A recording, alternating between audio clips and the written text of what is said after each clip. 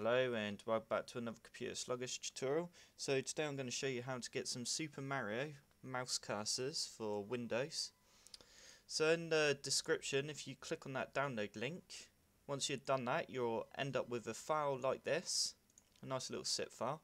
So once you've got the file we're going to right click it and we're going to go extract and we're now going to open up that folder and we're going to go into next folder here. So here you can see are all the cursors that we're going to install.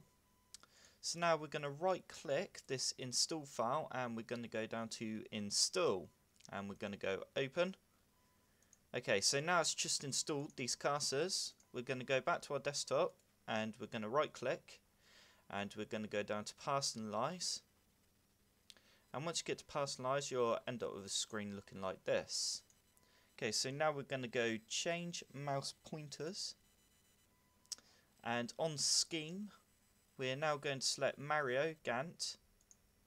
And as you can see the cursors are all here. We're now going to go apply. And we're going to go yes. And there you go. That's it. As you can see now we've got the Super Mario cursor his little hand there. So I hope you like this tutorial. Remember to hit that like button and subscribe